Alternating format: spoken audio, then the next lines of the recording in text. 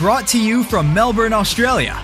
This is the Badminton Podcast, a community for badminton players by badminton players, where we talk badminton, celebrate local heroes, interview players from all walks of life, and push you to grow as a player and a person. Introducing your hosts, Jeff and Henry. Welcome to the Badminton Podcast. I'm Jeff. And I'm Henry. And we're really happy that you've joined us again today for our show because we're here because we love badminton and we want to build a community where we talk to badminton players, fans, officials, and everyone surrounding badminton so that we can learn from them, we can speak from experience, and we can hear their stories because a lot of you have awesome stories to tell. So thanks so much for joining us. Today, we have a really special guest, and to the badminton world, I'm sure a lot of people know him. His name is Raphael Sachetat we came there and we went there and, and we put the badminton post and the nets and then suddenly all the kids came and started playing with us and the parents were looking at them and they told us that it was the first time they see them smile after the earthquake after the disaster which was weeks before of course you know it's it's heartbreaking and and you feel like it's not fair but that's life and and we need to face it and continue for all the others who succeed badminton had a, a huge impact uh, on my life. I think the traveling has made the, the, biggest impact because when you travel, your eyes are open, uh, your mind is more open, and then you realize how lucky you are because I am able to see the world through different concepts, different ways of thinking, and and I think that's that's very interesting, and I'm really grateful for that. Raphael Sachetat. Did I say that right? Yes, correct. Great. Hello, everyone. Thanks for being on, Raphael. My pleasure. Just a bit about Raphael. He was a former leisure player in France. And after a few years, when he became a journalist, he started working as a freelancer for different magazines, firstly in human rights and then in badminton. He first worked for the International Badminton Federation, which is now called Badminton World Federation or BWF. And he started covering the world tour as a reporter. And then slowly he got into photography. Then he created the official photo agency Badminton Photo, which I know probably everyone's aware of. And he started that in 2004. And he's also had a channel of websites dedicated to badminton information and journalism, such as Badzine, which I'm also very familiar with. He was the photo manager at the Commonwealth Games in 2014 and the Olympic Games in 2012 in London. In 2009, together with really good friends and some of the best badminton players in the world, he started Solibad, Badminton Without Borders. Raphael, thanks again for coming on. Well, thank you for having me. So, Raphael, it's uh, quite an impressive CV that Jeff just read out for you, and I'm kind of lost as to where we should begin. But I think we should start with badminton. And I'd just like to ask firstly, how did you get involved? Um, well, first, I started playing quite late uh, compared to many of my friends on the tour. Um, and uh, course, I've always played as a leisure player, but I started when I was 21, uh, and it was uh, mostly luck that brought me to badminton. I was uh, I was actually going to register for tennis at my university in Paris, but uh, the sessions were all full.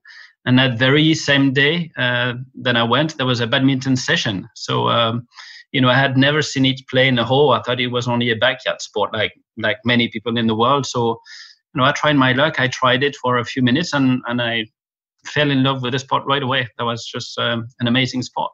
And after you you kept playing socially, did you, or did you? How how many years did you play for?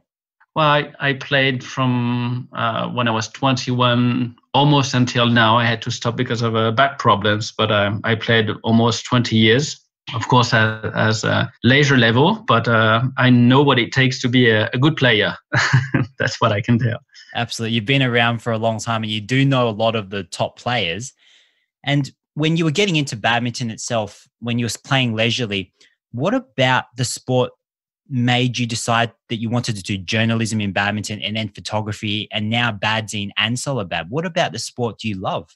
Well, I loved it because uh, first of all, it's uh, it's a fun game. It's a lot of fun to play, and uh, we can enjoy it you know, as a single player, as a mixed double player, as a, a doubles player. And I also had a lot of fun because being from a tennis background, I could make a lot of progress very easily at the beginning. So I was getting quite good so that motivated me but also you know i had so many passion at the same time as i was a reporter and i like photography and i thought it would be uh, nice to put together all my passion so you know being a reporter i thought why couldn't i report on badminton because i like to play and i know more and more about the sport so that's that's how i you know involved all of my passion and later on of course uh, charity work it sounds like you were juggling quite a lot of things at the same time there, Raphael. I mean, how did you decide to put all those things together into firstly Badzine and, and then Solibad?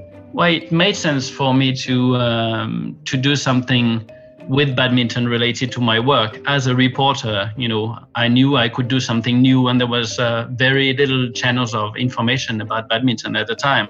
So we started Badzine in France, where even the federation didn't have a proper online page. It was the very beginning of uh, of the internet. I sound very old when I say this, but it's true. There, there was not so many pages online, and uh, so we we were at the very beginning of that. So I thought, why not? We we had the opportunity to report on on the sport because I was touring uh, the world, and it was nice for me to be able to uh, uh, to talk to the players. It was just a question of opportunity mainly. And when you were doing journalism and you were involved in going to the tournaments and the circuit, did you see that there was a gap for photography as well? Is that why you got into that?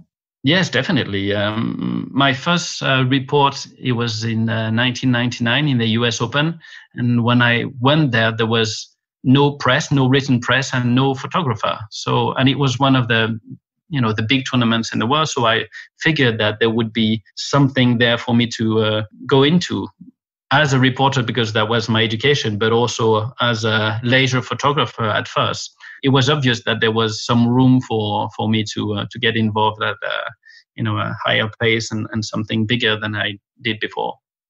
Yeah, and how does badminton photo relate now? So, what is badminton photo doing now in terms of international badminton?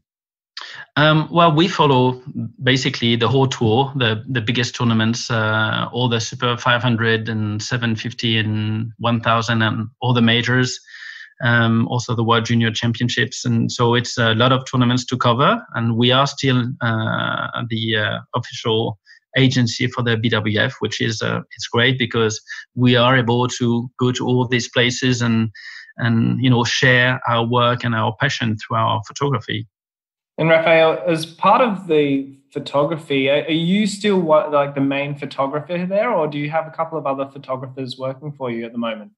Now there are more and more photographers because there are more and more tournaments to cover, and it's uh, it's a very tough job to follow the tour and deal with the jet lag and and everything, like all the players. And I'm sure you are very much aware of this.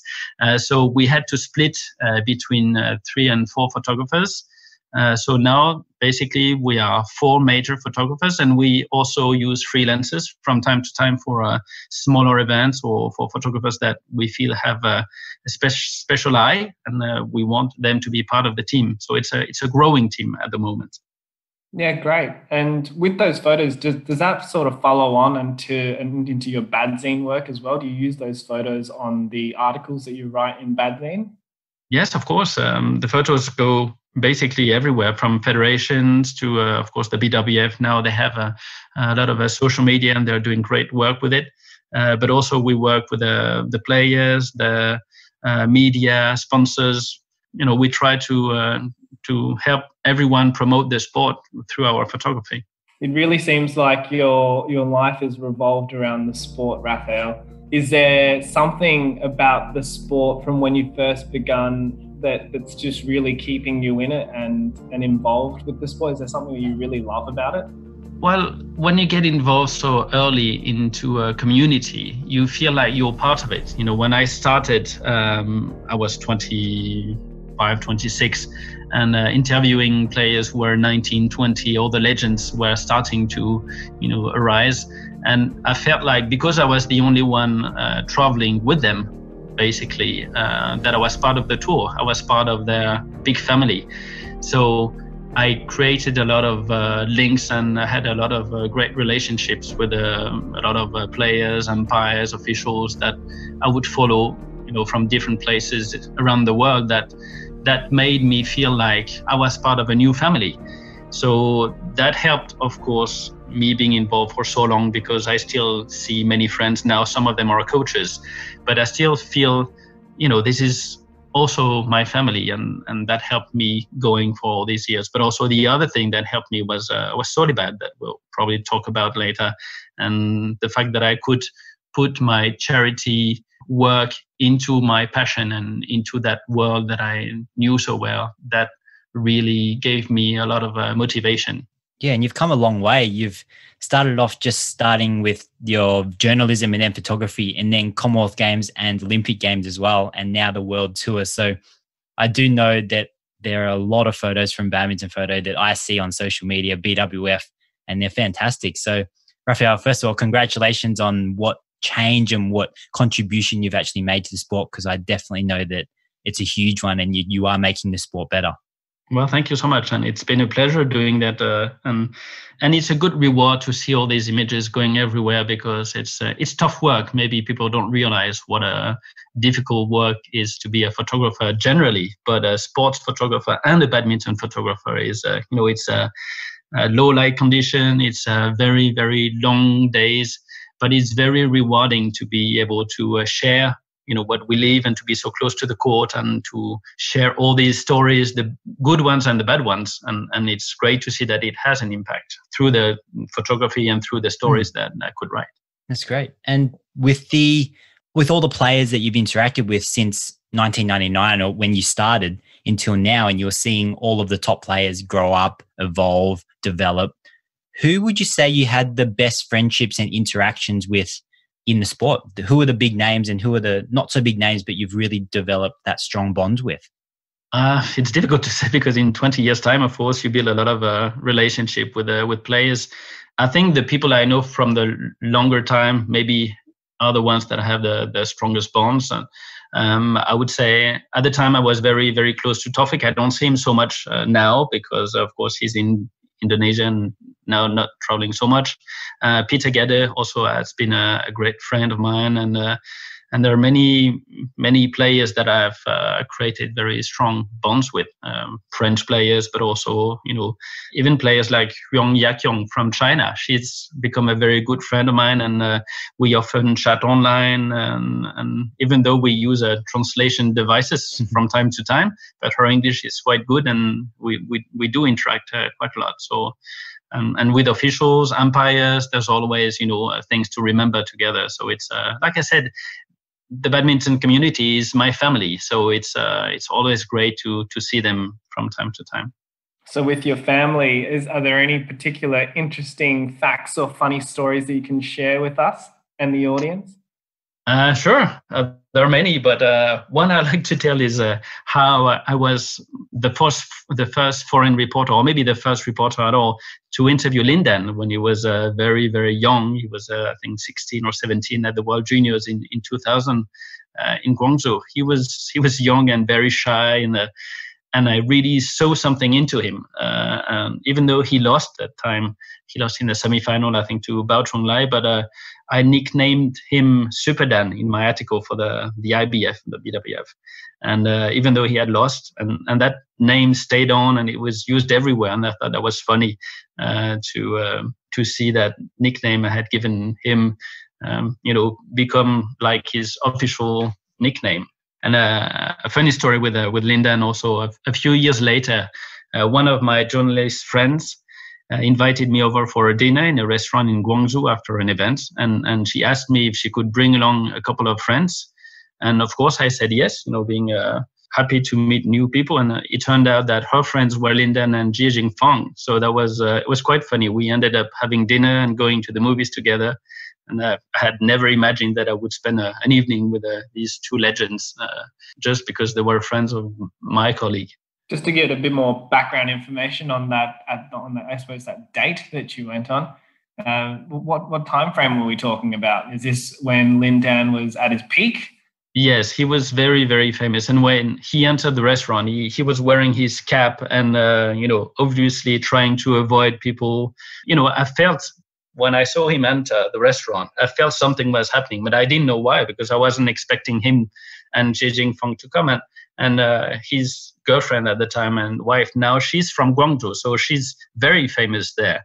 So, of course, people looked at them and then looked at us, that table of four, and like uh, you know they didn't really want to come and interact because they felt like they were with friends but of course everybody was staring at us so that was uh, that was quite funny yeah it's really quite strange to think about it because being in australia and badminton is uh, badminton players in australia it's it's hard to believe that a, a top player can become so famous like they have over in china of you'd be surprised when of course Lin Dan in China, but it's also true with the with the Taufik in Indonesia or big stars now. There, they are um, legends.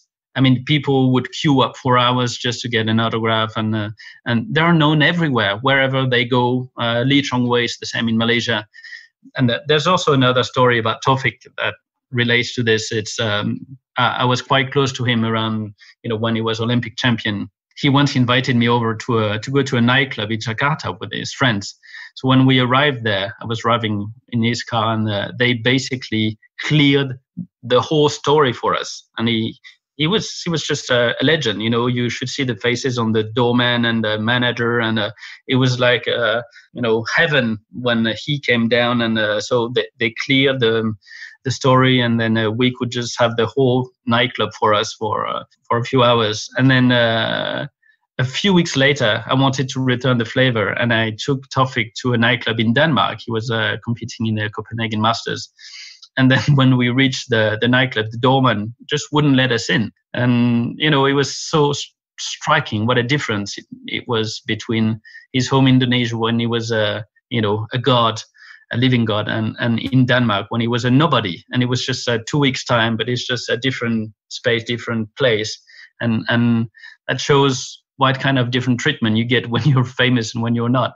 It's crazy. Yeah, it's really interesting, isn't it, to see the the differences between yeah recognition for the sport. Although badminton is quite big in Denmark as well, but potentially yeah, just not as big as in Indonesia where everyone knows him. So I'm sure that I would have tried to clear the club if I saw Taufik, but he didn't understand why we couldn't go in. You know, he was uh, questioning me. He was uh, saying, "Why can't we go in?" And then after I told the doorman that uh, uh my friend was the Olympic champion, then he let us in. But there was one point where I thought we just wouldn't get into the nightclub.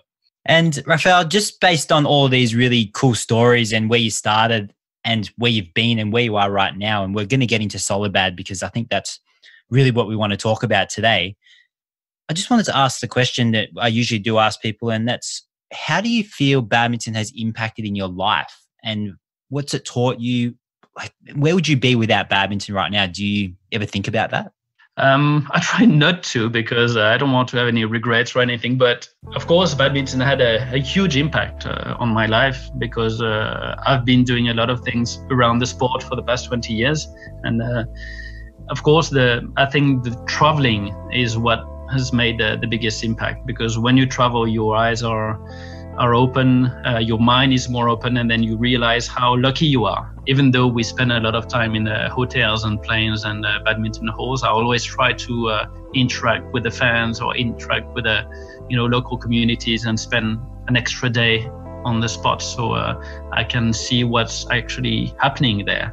And it taught me many, many things about life and about differences and, and tolerance. So, of course, the sport itself and, and uh, the interaction with the people, the players, uh, the officials have made me a different person because I am able to see the world through different concepts, different ways of thinking, and, and I think that's that's very interesting, and I'm really grateful for that. Yeah, and I see that you're grateful because you're contributing so much as well, which is what we're going to get into now, which is Solibad, badminton without borders. Raphael, can you tell me what what it is and how did you actually start? Uh, well, Solibad stands for uh, Solidarity and Badminton. Uh, and of course, Badminton Without Borders relates to uh, the Doctors Without Borders. Uh, what we do is uh, is it charity work. It's it's not development, and we leave that to people who know how to do that. But we we do try with the help of uh, of top players and leisure players and clubs and federations and anyone who wants to help to gather some money, and then we help fund some uh, programs for children. That's that's what we've been doing for 10 years and um, and you know it's uh, it's great fun it's a lot of work but uh, it's very very rewarding can you remember your very first project raphael uh, yes, um, the first one was uh, in Haiti. Um, I don't know if you remember, but in 2010 there was a, a major earthquake. We thought that uh, maybe we could try to help, and uh, we decided to bring some rackets some shuttlecocks, and uh, a couple of friends of mine were badminton coaches, and we decided let's go and see what we can do to uh, maybe make a change. And of course, when when I told all my friends that I was going to Haiti with the badminton rackets, they laughed at me and they said, you know, there's no way you're going to make a difference or change anything for these people because they don't need to play. They need food, mm. they need um, lodging, accommodation. Uh, but then nevertheless, we tried our luck and, and we went on that plane uh, together with uh, these couple of friends, and then we reached uh, uh, Haiti. And um, and it was quite striking because I remember very well. It was this huge camp with uh, white tents, and the families were all gathered in in the tents, and they had nothing to do. They had nothing. You know, it was only the help of the uh, UNICEF and, uh, and United Nations. But they had the essential. They had enough food and they had a you know so-called roof over their heads, but they didn't have anything to do. So we we came there and we went there and, and we put the badminton post and the nets and then suddenly all the kids came and started playing with us and the, the parents were looking at them and they told us that it was the first time they see them smile after the earthquake, after the disaster, which was weeks before. And I realized that, you know, with rackets, with a, you know, some fun, we could make a difference. And then we went there, you know, a few days, and then every day was the same thing. More and more kids would come and play, and and it was like a ritual, and it, it was uh, amazing to see the smile on the the kids' faces. So it taught me a lesson, and, and I realized there that you don't you don't need a lot of means or you don't need money, but if you have a, a little bit of time, a little bit of attention, and you can actually make a difference. That's really interesting, Raphael, because that kind of crossed my mind as well because I love badminton, I love to play, but when the bigger picture comes into play where you're looking at housing, food, where do I live, where's my family going to go, what bad what role does badminton actually have? But then when you talked about them just sitting and not having anything to do and the kids having fun, I think that's that's really really special. So, how long were you actually there helping the kids and doing that for? We were there for three weeks. Um, first, the, the first days we were on the camps and, and doing this uh, interaction with the local kids. And then uh, we trained local coaches. Actually, it was PE teachers in Haiti. And of course, there, there was no badminton at all there. But uh, we thought that it could be a good way to uh, start, you know, to uh, start a, uh, a, sparkle there to bring badminton. And we had brought a lot of rackets. So uh, basically every day with uh, Kaveh Mehrabi also, uh, who was there, and Iranian player who was in the Olympics, also a very good friend of mine. And we started coaching the PE teachers. Some of them had never even seen badminton in their lives, and but because everything was destroyed, they thought that it was a good way to start something new. And, and they all picked up their rackets. And for three weeks, every morning we would go outside and we would explain to them the basic uh, uh, strokes, uh, how to hold the racket and everything. And then they could go back to their own classes and teach the kids. So this is how we started a little something in Haiti, and uh, we handed over the program to the uh, uh, Haiti Badminton Federation, which was built later on, and, and now they have a you know a huge uh, a number of uh, of kids playing. Uh, it's in the schools, and so um, it's it's very rewarding to see that it's it all started with just this you know three weeks at the time. And how did you get? How did you make contact with them to go there? Like, did you did you have a contact that you could call to say, "Hey, we're coming," or did you just go, or how did you organize it? No, no. We we of course we organized before. Uh, we had uh, contacts uh, through the UNICEF uh, who were making sports programs. And of course, when they realized that uh, badminton was very easy to organize because it was a, you know, you could play anywhere. It's not so windy in Haiti, so it's it's good to you know to uh, to play outside. But also the fact that it involved both boys and girls. They were very interested in the fact that we could play a mixed uh, mixed sport. So they were very uh, happy to have us there, and it was through a, a program that we went. So I know that you've explained about the meaning of Solibad and the actual word meaning of it, solidarity in badminton. What about the logo? So it's like a rainbow logo. What's the story behind that? Well, we wanted to uh, to give an idea of uh, something joyful because first of all our, our, programs are kids programs. And you know in school you learn how to write with these letters and you like to use different colors. So it's like uh, you know different colors also is about tolerance about um, you know everybody involved in in this program so um, this is what i had in mind and i told my graphic designer what i wanted and he was you know pretty amazing because his first on his first attempt he came up with this logo which is exactly what i had in my mind. And and we thought we'd stick with this logo because it's uh yes it's it's joyful it's a bit childish but we want to keep it this way because we we do that also for fun and and we like our motto says we don't take ourselves seriously even though we do serious things. That's really cool. Um and then when you first think about when you started it and why you actually started it was there something that made you have the idea? Was there was it your idea? Was it a friend's idea? What, what how did it start? Um, it's a good question. Uh, when I became a journalist, I, I, did this in order to make a change. Actually, I had started medical school uh, after my graduation because I wanted to be part of the foundation Doctors Without Borders. But I soon realized that you know, 10 years of studying would would take probably too long to be able to do something and make a change. So I, I switched to uh, journalist school. Uh, and because I was involved as a volunteer with uh, Amnesty International, I thought that through my reports on human rights violations, I could make a change as well. So I did this for a few years uh, before I got involved with badminton. But even though I started reporting on the you know, on the competition on something that had nothing to do with human rights, I still had in the back of my head, and I knew that at one point I would get back to uh, doing something for others. And you know, I found that Solibad would be a, a good way to do this and and you know to make a change through my passion and to be as efficient as I could. I could use badminton and all my contacts and all my top players, friends to help. So that's, uh, um, I think that was a good, uh, a good way to do it. So just a bit of background for our audience, Raphael. I mean, how, how long did you spend in medical school before you jumped into journalism? Uh, two years and that was enough to uh, realize that I was not made to uh, go for uh, long studies. it was both hard and not so interesting. And even though I, I, still love everything that has to do with uh, with medical background, and, and my dad is a doctor, so I'm you know I, I still like everything that has to do with medicine. But 10 years uh, is just too long. And I think I talked to a couple of uh, people who were uh, Doctors Without Borders, and they all told me to just drop my studies if I wanted to make a change.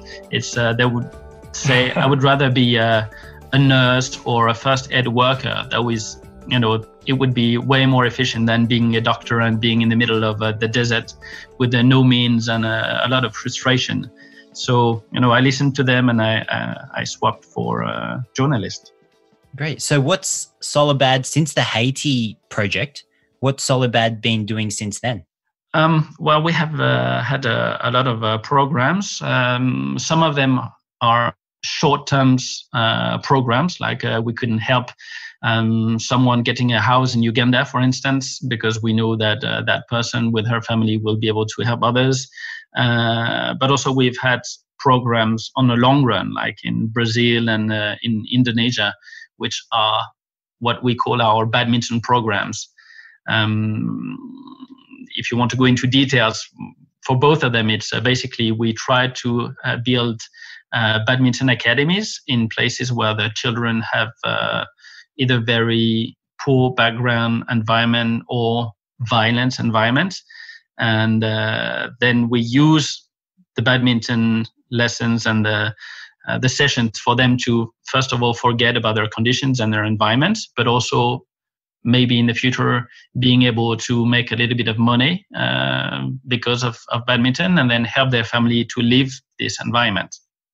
And I know because we were we met at the World Championships in Basel just a couple of months ago, and we had the Solibad picnic, and I was lucky enough to go to that. And Igor from Brazil was there, so that was pretty special because you were telling me the story about him. Could you share with the audience a bit about one of the a very good badminton player from Brazil, number one in Brazil at the moment, I believe, and his story with yes in relation to Solibad? Well, Igor Coelho uh, is the, the top player from Brazil, uh, but actually his story is, is a bit similar to what we tried to do in Gravata in our program. But he's done something a bit similar with a, uh, his own uh, Miratus uh, Foundation. But his story is amazing. He's also from the township, the the favela, where you know the kids have uh, very little, live in poor condition, and uh, his dad was at the head of the Miratus Foundation, and uh, he was a badminton coach, and he used samba as a way to uh, interest all the kids to play badminton. So they train while dancing samba, and it, it was a oh, hit. Wow. All the kids joined the program, and then you know one thing led to another and he became quite good and then he was national champion and then he played in the Olymp- in the olympics in rio uh, in front of his home crowd. So it was a huge success. And for us having this story is a good way to show the kids in uh, gravata where our program is in uh, northeast of, of brazil that dreams can come true. If you believe in it and if you you know if you try hard then there is a way to leave your background and the, all the violence that they have in Brazil and and there is a way to make things happen. You just need to work hard and, and believing in yourself. It's a really powerful way of inspiring children there, Raphael. I just want to rewind for a little bit and just ask you briefly. I mean, what does playing badminton and dancing samba look like? Uh, it's what fun. It's it's quite fun when you look at the at the videos, uh, but it's just a way of uh, warming up first and then the way they do footwork and they they do all the exercises with the music. But it's uh, it's actually very clever because uh, there is a lot of rhythm in samba there's a lot of rhythm in, in badminton. And when you see it happening you realize that there's a lot of things that are in common and of course, some kids, you know, will probably find it boring to go to a badminton training session and, and do all the footwork and do this without hitting the shuttle. But when you do it with music and with a choreography, then all of a sudden it, it becomes fun. So I think it's a very good way to uh, to make kids like the practice sessions. Is it kind of like that the viral video that went around about the Chinese lady doing her warm up? Did you see that? Yes, I saw it. Yeah. um, well, maybe a little bit something like that. Yeah. Uh, but but what's very striking for the the example in uh, in Brazil is that when you see the videos, it's like hundreds of kids in the gym that all do the same choreography, and and you, when you see the smile on their faces, it's really really a lot different from the faces of the kids we see in the Western world that do their footwork and they are obviously very bored by it because there's no shuttle involved and and no fun. It's just be- they have to do it because they have to know the footwork. But when they dance then you know it becomes a lot more fun just like that chinese lady. And, and that's a very funny video indeed. So other than that what are the current projects that you have at the moment well, Brazil and Indonesia are the, the, the biggest ones. The one in Indonesia, it's uh, growing uh, bigger and bigger because uh, it started first in the outskirts of Jakarta on a big um, uh, garbage dump, and uh, some of the families actually live on the on the garbage dump. And so we found uh, through the foundation of extraordinary lady who started the program, and we're just helping her. But uh, she found a small badminton court near the garbage dump, and then the the children would go from time to time to play badminton. You know, once or twice a week and then they of course in indonesia badminton is like the number one sport so they all loved it and then they went more and more and then we figured that maybe we could build a team out of the best kids from this uh, this village and then we did the same thing uh, for about 10 different uh, little villages all around Indonesia. And out of these 10 villages, we took the best players and we created what we call the ultimate team. And now they're all uh, together in Yogyakarta, another city, and they're training full time with a pro uh, coach. And they're involved with the with the national uh, ranking system in Indonesia, and they're becoming pros.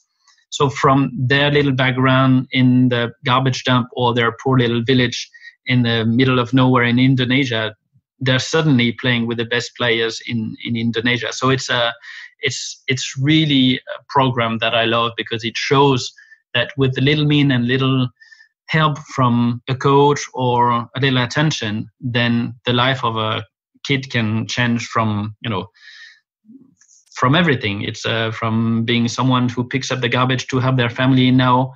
You know, they they tour Indonesia and they play for a club, and and it's uh, it's a great reward for us to see this. So, how old are these children, and are they people that we know now, or would, would we be familiar with their names? Not yet, but uh, some of them are still quite young 14, 15 years old. We have a couple of uh, 20 years old who are now involved in the national tour and uh, Novia, who is what we call the the biggest sister, and she's helping with all the younger kids. She's uh, ranked in the top 15 in Indonesia, which is you know amazing for her because she's only been playing uh, basically in a small badminton court until now, and and the fact that she's being able to compete with the best players in Indonesia is a uh, is, is a great reward for her and for the program, and and and it shows that you know, like Igor in Brazil, you can make, um, you know, you, you can follow your dream and make something happen if you really believe into it. And Raphael, out of all of the projects you've done, all the places you've traveled for Solibad, what would be the most enjoyable or the funniest or the most fun experience for you? Uh, it's difficult to to say. I think my trip in Nepal was one that I will uh, keep a, a, great memory of. Uh, we we helped uh, some kids in their school through through clubs. The the clubs are sponsoring the children for their um, uniforms and their daily school supplies.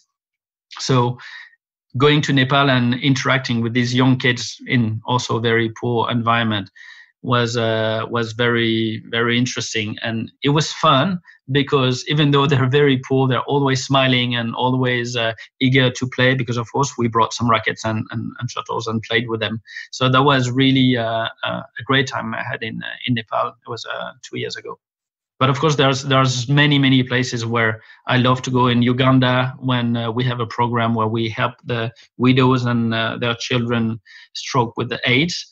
And and of course there's no water, there's no electricity, and it's uh, very rural. But we came there with the badminton rackets and with shuttlecocks, and the whole village was playing. You know, from uh, when the sun was rising until the sun was down, because there's no electricity. There would always, always be someone on the badminton court, and that was also a lot of fun. Yeah, it's uh, look, it's it's probably a little unfair for us to tell you to pick which one's your, your favorite out of all these different stories so far you've told us that are all very incredible and and all sound very um, fulfilling.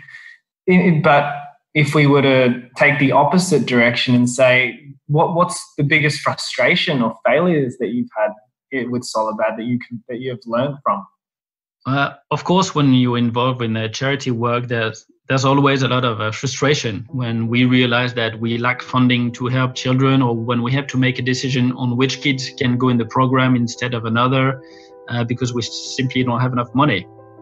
Or when you know when you've done all you could to help a, a kid to get out of uh, the violence and the drugs and the, and the environment and then you you think you've managed to do so and then you hear a few weeks later or a few months that he's been killed by a mob or or died using drugs because he went back to this environment then of course you know it's it's heartbreaking and and you feel like it's not fair but that's life and and we need to face it and continue for all the others who succeed there's no no choice. We we need to be positive always, even though there are stories stories that are very very sad. Yeah, that sounds incredibly challenging to have to face and then to continue moving forwards with the project. But I'm glad that you know you you've done so much great work and that you continue to as well.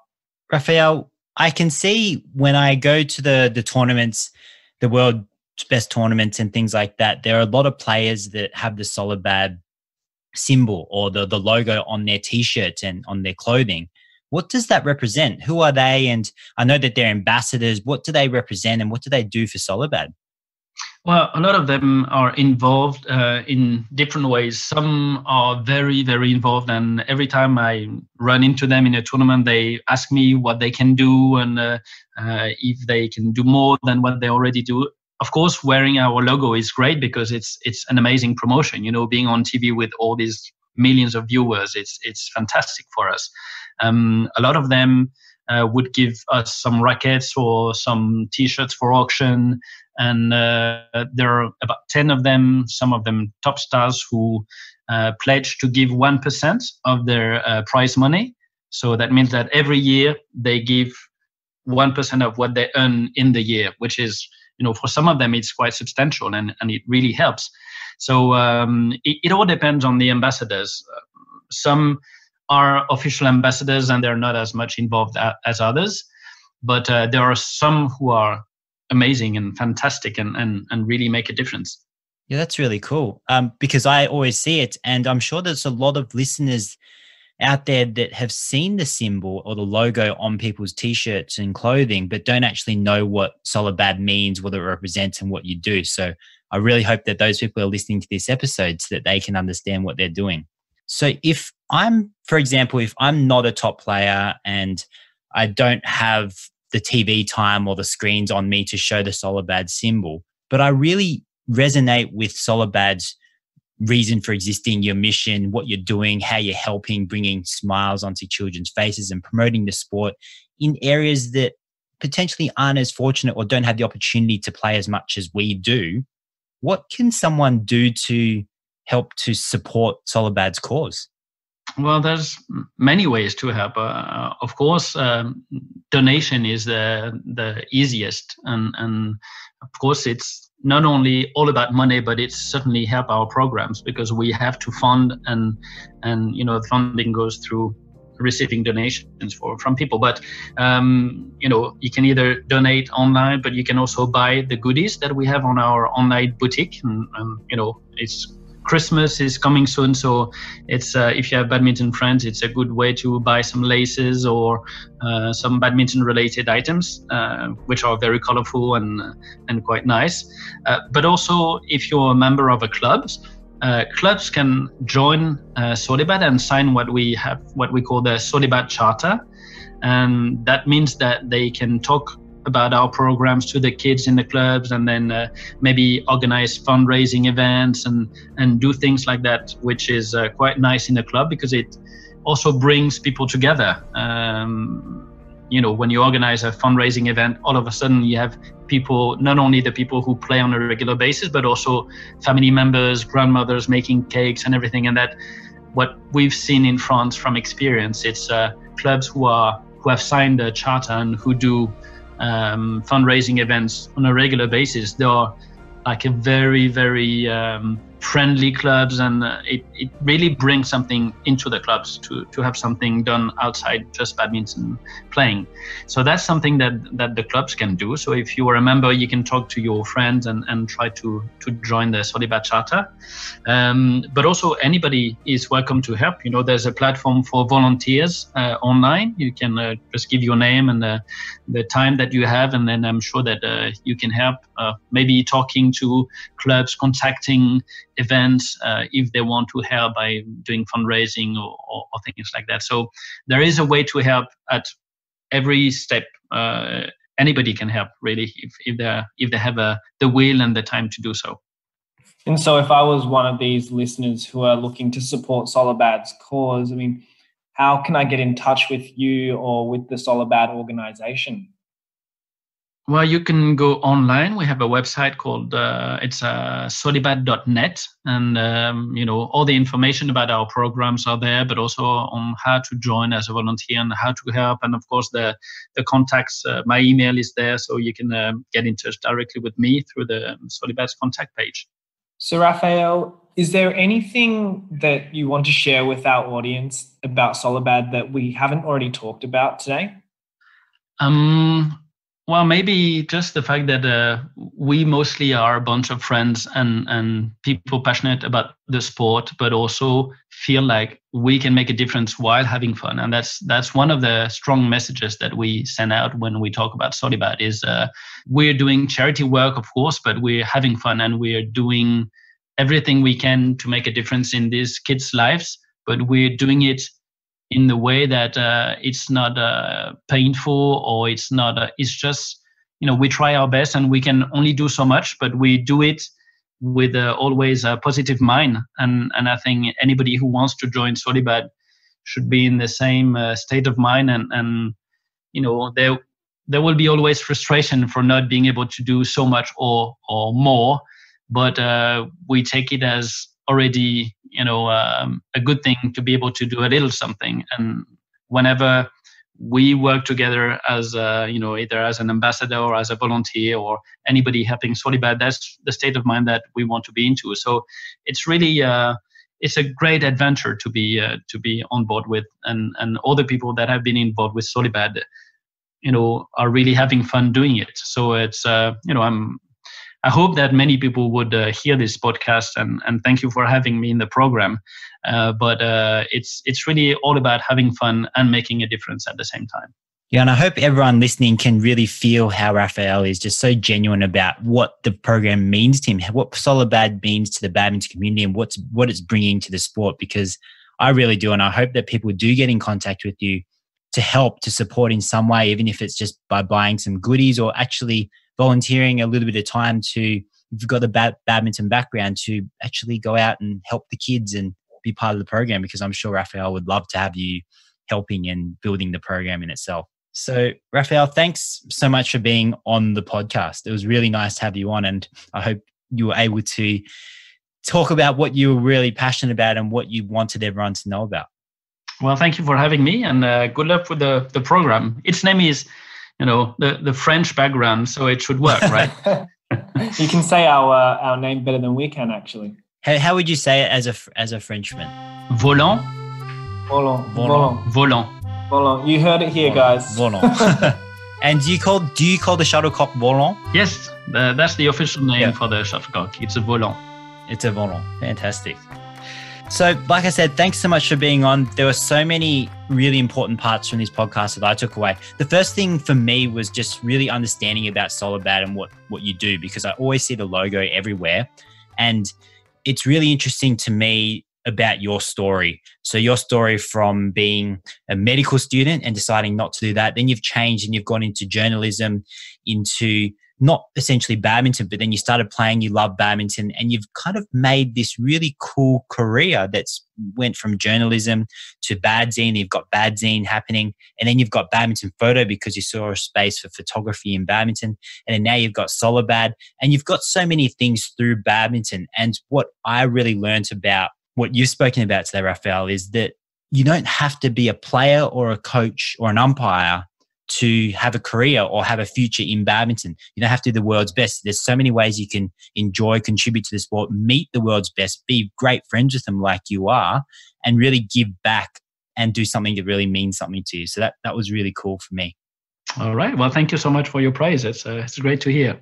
And Raphael, for me, what I took out of this conversation is that your, your, your life has kind of been a big game of choose your adventure. And, and it certainly seems like that you could have really gone down some very different pathways. And who knows where you might have ended up if you had become a medical doctor or a, a professional tennis player or, or gone down the same pathway in tennis and we'd end up with tennis zine instead. But what I've really liked about this podcast is that you talked about being grateful and, and traveling the world and being open to new experiences and new perspectives. And the key, I guess, I would take away from this is that you can make a difference regardless of what you know, monetary backing resources that you might have, whether you are, like Jeff said, a badminton player, a fan, um, not even a badminton player, you can still make a difference. And you know, it, it doesn't take a lot to make someone smile. And I'm really glad that you are able to do that with Solibad, and I hope that you can continue to do that uh, in in the future as well. Well, thank you so much. We'll certainly try to. So, for everyone listening, thanks so much for tuning into the Badminton Podcast by Volantwear, the world's most versatile badminton apparel.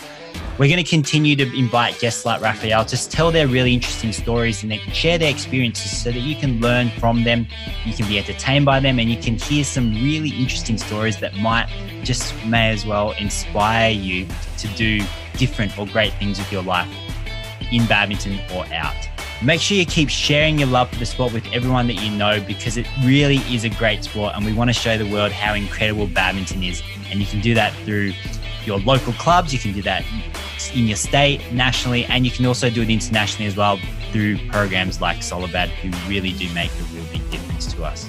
If you do want to get in contact with us, though, you can easily contact us on our social media, so Instagram, Facebook, and YouTube via our handle Volantwear, V O L A N T W E A R, or on our website, www.volantwear.com. And Raphael, I think I said it right. Volantwear. Yes, correct. Very good.